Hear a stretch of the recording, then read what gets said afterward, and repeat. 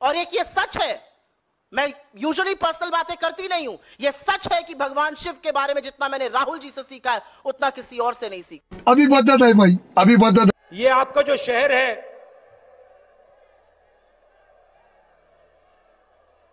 जो महाकाल मंदिर है शिव जी का मंदिर है।